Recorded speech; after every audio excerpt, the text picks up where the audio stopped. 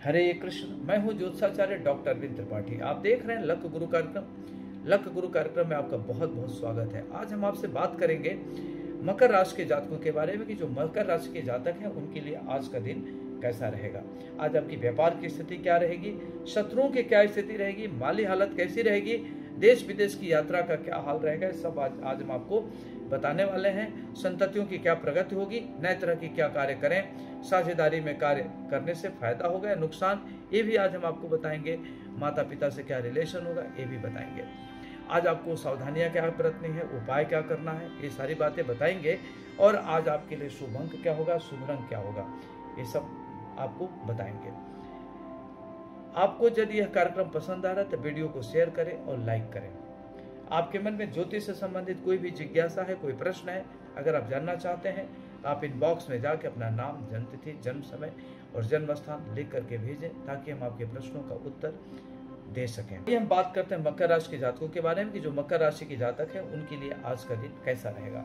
जो मकर राशि के जातक हैं, आज आपकी पत्नी की हेल्थ को लेकर के आपको चिंता हो सकती है।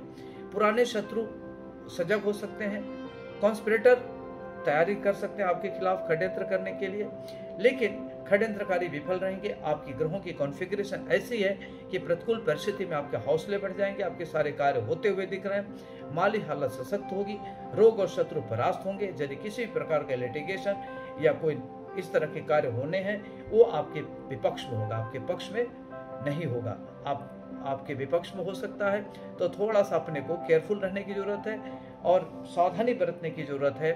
और जो भी कॉन्स्पिरेसी कर रहे हैं या वो कर रहे हैं तो थोड़ा सा टाइम आज का दिन आपके लिए प्रतिकूलता लिए हुए है। तो आज आपको बैलेंस बरतने की ज़रूरत है। आज आपका कोई ऐसा वेलविशर होगा जिसकी कभी आपने मदद किया है, वो आज आपकी सारी संकटों का समाधान करेगा। किसी महिला मित्र के सहयोग से आपकी परेशानियाँ दूर होंगी, सरकार से लाभ मिलेगा और सरकारी कार्यों में भी प्रगति होगी। यात्रा देशाटन, तीर्थाटन का भी योग बन रहा है। कोई भी नया कार्य करने की अगर आपने प्लानिंग कर रखी है तो कार्य भी होते हुए दिख रहा है। और रोग और शत्रु परास्त होंगे माता पिता का सुख मिलेगा।